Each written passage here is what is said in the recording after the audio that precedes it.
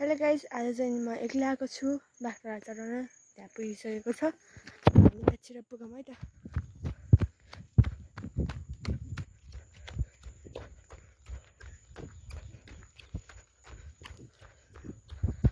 हेर्नु होला चारैतिर कोही पनि छैन।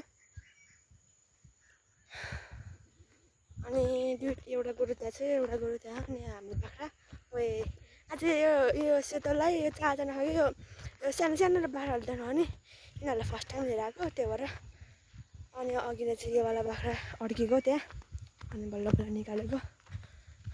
पुग्यो त्यहाँ त्यो त।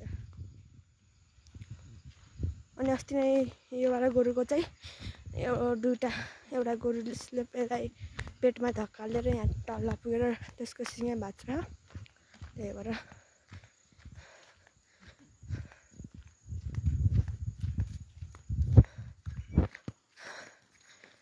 अनि मैले सर्ट पनि भन्नु तपाईँलाई लाइक कमेन्ट सेयर सब्सक्राइब चाहिँ गराउन नबिर्सिनु ल। अनि हेर्नु यहाँ हाम्रो बाख्रा र गोरुहरू। ल है